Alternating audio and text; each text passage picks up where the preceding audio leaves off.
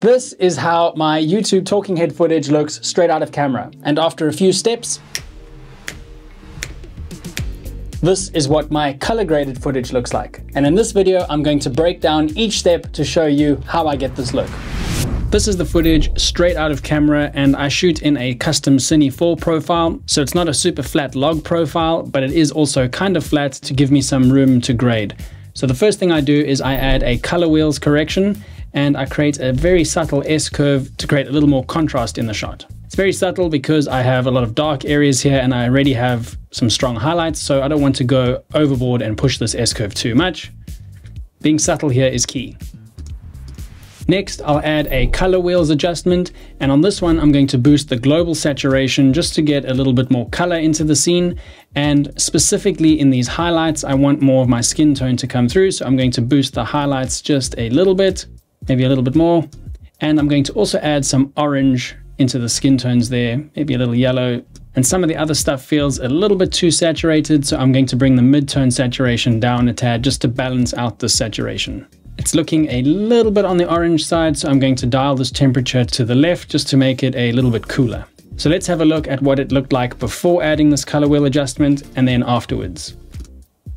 I think that looks pretty good and I'm grading by eye here. If I wanted to get really technical and zoom into the skin tones and get everything perfect, I could do that and I have videos about that, but that's beyond the scope of this tutorial. The next step is one you might not necessarily think of doing and that's to add another color wheels adjustment and I'm going to add a mask using this mask icon over here and specifically a shape mask. The goal of adding a shape mask here is that I want to grade the inside of the mask separately to the outside. So I'm just going to adjust this mask around me and I'm going to create quite a large feather around this mask. Something like that should do. Now down here in the mask settings, you can choose what these color wheels affect, whether it's the inside or the outside of the mask. I'll select the outside and what I'm going to do is just darken it. I'm going to overdo it so you can see what it does. Essentially, it creates a nice little vignette but I'm not going to go so strong. I'm going to just bring it down a little bit and I might just desaturate the shadows a little bit. Then I'm going to hop over to the inside of the mask and over here I'm going to boost the brightness just a little bit, maybe increase the saturation a little bit on the highlights and on the global slider. It's a subtle adjustment, but that little adjustment is going to help focus the viewer's attention on me and not on anything that might be distracting on the edges of the frame. I'm happy with that, so I'll hit done and now the last step is I'm going to add a custom LUT because this looks fine as is, but I just want to have a little bit of a creative look. So I'll head over to my effects panel and I'll add a custom LUT effect by double clicking it. The reason I do this at the end is because I want any exposure adjustments that I make to be below the custom LUT layer. You could of course add your LUT and then apply these layers and move them below, but I like doing it at the end.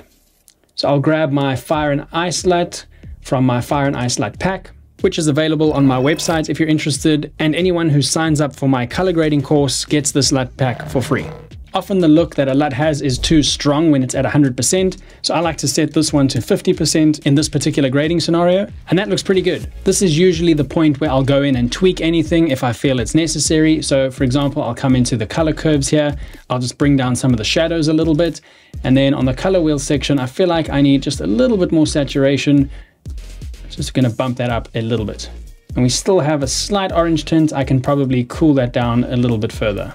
And now the most important part of this whole process so that I don't have to do this every single time I shoot in this room, I can hit the Save Effects preset button, call it default grade, or whatever I want, and I just save that in whatever category I want. In this case, it's Brad West, and I save all of those effects. Now I'll quickly hit Command Shift X to remove all these attributes, just the video ones. And let's pretend this is a new video I'm working on. I can head over to my effects, search for default grade or navigate to my category where I have it saved and just double click to add those effects to the clip. If you enjoyed these tips and you want to learn more about color grading, I highly recommend checking out my color grading course, which I'll link to down below. By the way, if you want to see my lighting setup and how that contributes to this look, then you'll want to watch my tiny studio tour video next.